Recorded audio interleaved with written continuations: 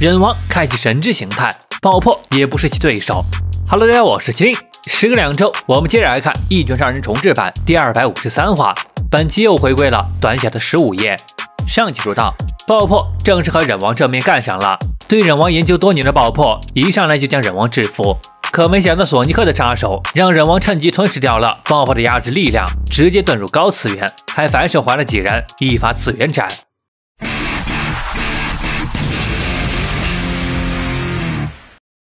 爆破一手拎着一个，将弗莱 h 和索尼克带离了次元斩的范围。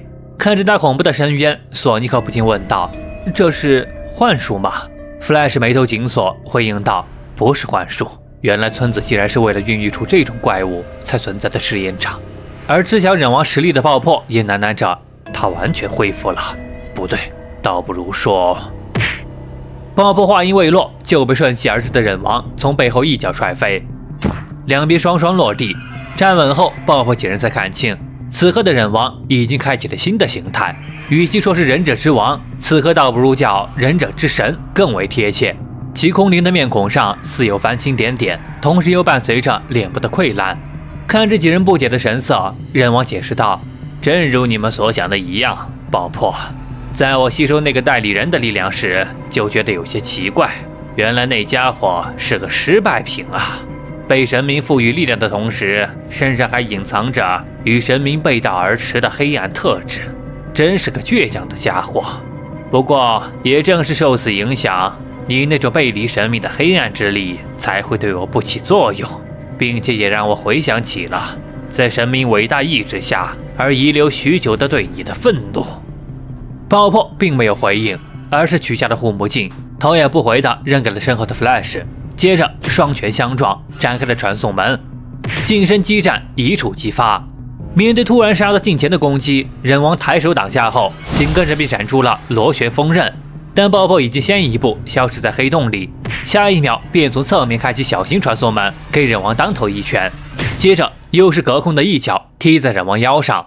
不过是用不了次元炮和重力拳而已，别在这得意忘形。话语间，爆破再次利用传送门从身下发起攻击，然后一拳接一拳，将还未落地的忍王再次砸向空中。紧接着，整个人从更高处落下，一脚顶在忍王背上，手里同时也挥出拳头。这一套组合招式是完全不给人喘息的机会。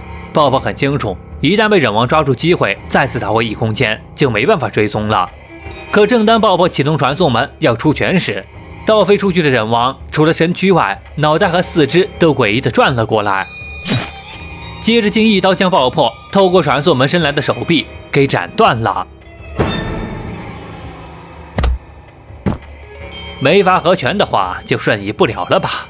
反转的四肢脑袋恢复原状，忍王接着说道：“我苦肉计都用过了，你还是只会拿无聊的把戏攻击我的死角，真是让人失望啊！S 级第一位的英雄，你已经没法再躲过次元斩了，之后就眼睁睁看着这世界的城市和居民被切碎殆尽的画面吧。”面对断臂的剧痛，爆破微微皱眉，脸上滑落下汗珠：“你还是一如既往的不擅长撒谎啊！你说什么？”你的眼神飘忽不定。假如是十五年前和我战斗的你，肯定会迫不及待斩下我的脑袋吧？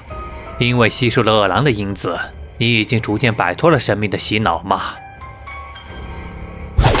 爆破话音落下，忍王便发起了斩击，但似乎正如爆破所说，他的攻击只瞄准了爆破的躯干，并没有想直接取走爆破的性命。好了，以上就是《一拳重置版》第二百五十三话的全部内容了。这一话仍旧是爆破和忍王的对决。本以为上一话忍王的逃走会迎来和奇遇的名场面，没想到又折返回来，给爆破是一顿揍，还把爆破手给斩断了。也不知道还能不能接回来，又或者只是爆破中了幻术。这结尾的势头来看，受恶狼的影响，忍王大概率是要洗白白了。不过原作剧情里也并没有明说忍王是被奇遇干掉了，或许孙天老师就是由此展开了关于忍王的剧情吧。总而言之，还是那句话。奇遇到底可哪儿去了？那么喜欢一拳超人系列的，别忘了点赞关注哦！本期视频到这就结束了，我是麒麟，我们下期再见。